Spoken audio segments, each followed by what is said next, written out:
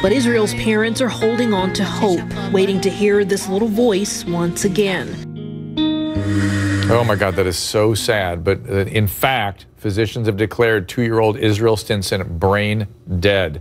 The toddler's parents insist he's alive. They have posted this home video on YouTube claiming it proves their point. Israel, baby, mommy's here. I'm gonna tickle you one more time. Do it one more time. Do it one more time for Alexandra. There you go. There you go.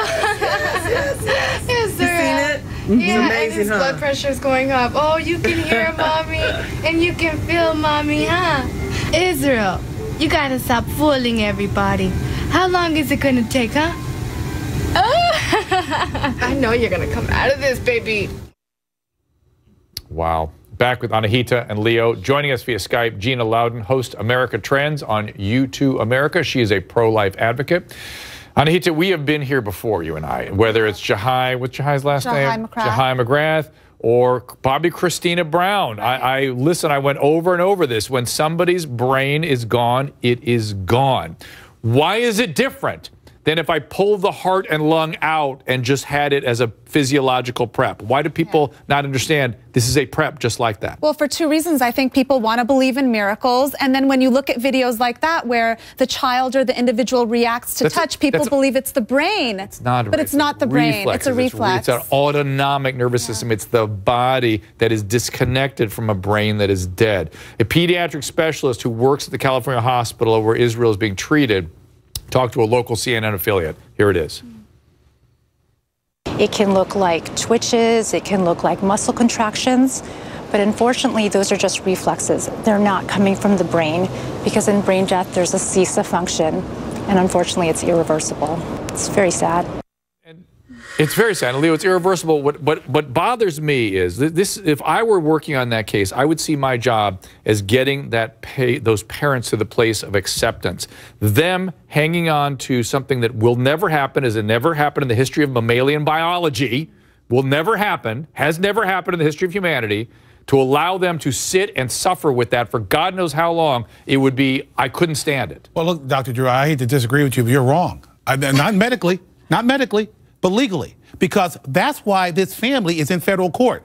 There are some states, and as a lawyer, I'm looking at this. There are some states that said, "Hey, as long as there's a heartbeat, that child's alive." So if for I, example, so New I Jersey. take the heart out and the lung out, Well, put it in a jar, well- then we're fine. Well, I'm not saying. Look, We're no, fine then. No, We're no, I'm fine, not. gonna- I'm not, That's. No, I'm not. I'm not going to challenge medically, but I'm saying legally. That's why that baby. That's why that baby is still in the capacity she's in right now because a court has said no. As long as as long as she has a heartbeat, they can pursue this, and that's in New Jersey, and that's the law. I want to get do Gina, I follow want the to law. get Gina. Gina, you tell me what's your opinion on this? Is is what is a life and what is not a life? I understand that there's legal protection of life. I'm all for that, but this is a physiology prep.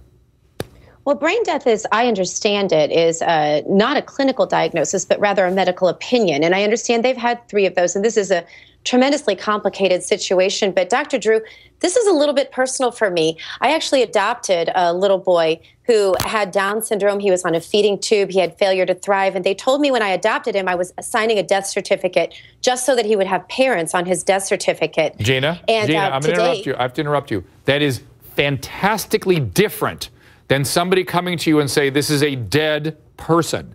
That is somebody who may who's going to die in their opinion, as opposed to somebody who is dead. There is a But the the infinity line- difference between those two states. Infinity. But the bottom line, but the bottom line, Dr. Drew, and, and there are states that agree, and as your lawyer pointed out, um, it, it- the bottom line is it should be up to the parents. It is not up to this to the state to I- decide you when. know what? That's not Otherwise, necessarily you wouldn't true, though. have- Well, but I'm sympathetic to you that. Wouldn't- Yeah, I- I'm sympathetic yeah, to that. And, but here's, signing but papers, I, I, those things. the- I like the way Gina framed this. It's about It- parenting rights, right? It's parenting rights Yeah. and the law. I mean, you cannot. Your medical experience and expertise cannot trump the law. The law is very clear. I, I listen, but but here's my problem. Okay. And- and you you kind of missed it last time I stated it. The problem is getting these parents who are entitled to their parenting privileges. I, I believe in protecting those, but the job of the professionals should be to get them to the point of acceptance of managing reality on reality's terms. Otherwise. Guys, what are we doing, guys? Are we going to spend all of the medical resources we have on brain preps? Is that what we're going to do? making the assumption there's universal consensus on your opinion throughout this country. If so, then why does New Jersey allow this to happen? They, they. I'm not saying that there'll be universal opinion on what this is. I mean, brain death. Well, yeah, three doctors examined this child. They went to three different courts in California, state courts.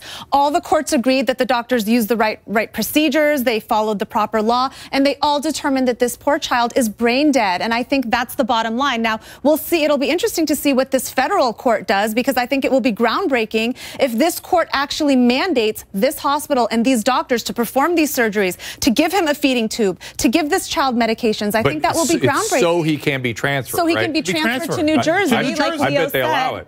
I bet they. I bet they. Well, why not? I Why don't would know. you allow it? It's the law. I mean, I, I'm confused. I- I- Uh, I- Well, no, the law says in New Jersey, let's be clear. Yep. The law says as long as there's a heartbeat, the child's alive. But they're so why are trying we to because they're trying to get the court to tell these California doctors to perform the surgeries, give the medications, so that the child can be transported. And what's wrong with That's that? the What- issue. what- what's the problem with that? Well, Is- because- is this- it's- I hope it's not about money because let's face it, it sounds like money. It, smells like it's about It- money. what I love what Leo's talking about what's the universally tr- universal truth. He wants me to Well, declare I- I universal, tell you universal universal opinion of all doctors. I love that. But but but but it, in some level, listen, we are asked as physicians to make decision making based on available resources every day. That's part of our responsibility is to make sure that we aren't aren't uselessly wasting resources. Uh, How is this not wasting resources? See? But I understand. Yeah. But I understand. I want to protect the patient parent privilege. My goal would be to get the parents to deal with reality. this is not a cost benefit analysis. It- it, not for me. Sounds like it. It, it- every every medical decision has a cost benefit, cost,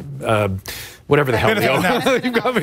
See, I'm, I'm behaving like people that respond to Donald Trump now. See how that works? You'd be a good negotiator. So, but the, but the point is that that uh, forget. it. Let me go to break. I'll think. I'll think I got- Drew. You got me. Got me. I've never heel. seen that. we will hear from Israel's parents. They're locked, as we've heard, in a battle over the in the courts over the fate of their son. It's, I'm back with Anahita, Leo, and Gina. Gina, you know what I'm saying? I mean, we, the people have to be helped along to get to understand. They've never seen this before. We, as physicians, see this thousands of times. What brain death is, what death is, and people don't want to accept it. But you're right. People do grieve differently, Dr. Drew. And this family is asking for two basic things no major surgeries here. We're talking about putting in nutrition for the baby because they've given him no food. So he's virtually starving to death, which is not a pleasant way to die. I can never understand why that medical decision is ever made. And, uh, and, and to have him on a breathing tube. Those are minor things. The mother's asking to give nutrients to her child, maybe to give herself that time to grieve and get to the exact place you're talking about. But the bottom line is, Dr. Drew, this shouldn't be up to you and I. This should be up to the parents. Well, she's saying, Leo, it should be up to the parents what decisions are made, and and not only that, it should be up to the law, which is the point you're making. Right, exactly. And the uh, law is the law. He should have the opportunity to go to New Jersey where these sorts of injuries, however you choose to define them, Right. are allowed to be sustained. Hmm? Is that about right? Uh, Right, and there's no argument. The parent parental control and the fact that the law is the law in New Jersey, and they have the right. Well, I don't even know why we're arguing this point. Notwithstanding the medical evidence that you have portrayed, You, you're that- you're going with, with the law. I'm going strictly with the law. with the law. Strictly with the law. But there's got to be an element of denial here. Just hearing these parents talk, and it element? reminds me.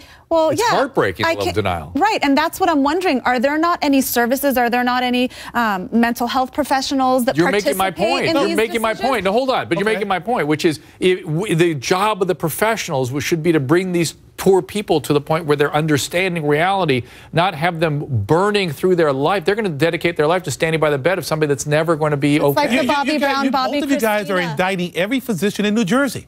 They're, they must all be nuts No, there. Yes, you are, because apparently before they enacted that law in New Jersey, they talked to the medical profession there, and you guys are indicting every doctor in New Jersey. But it's I- never happened. That's Oh, that's no. my thing. It's I- never happened. The I- law I- is the law. But I it's doubt never physicians were enthusiastic about that law in New Jersey. I doubt it because So- that, I, should every now let's go back to that. What do you call it? A cost benefit analysis. Yeah, the cost-benefit should, analysis. Should every dime of healthcare be spent on sustaining people that are dead? Look, I, look, I think that's an individual choice. Okay, so who makes that choice? I don't know, but I'm not going to sit here and say that you and I have the right to tell that family, "Hey, pull the plug." Especially again, You do not have that right. We don't have that I right. agree. I agree All with right, you next up.